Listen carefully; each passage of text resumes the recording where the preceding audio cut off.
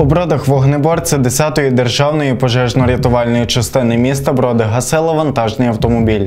Що стало причиною займання? Дивіться далі.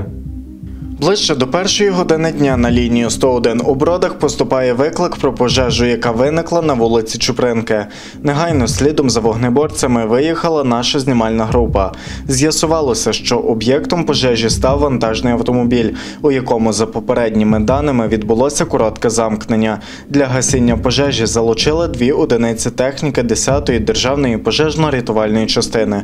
А також на місце прибув наряд поліції. Пожежу ліквідували за 5 хвилин.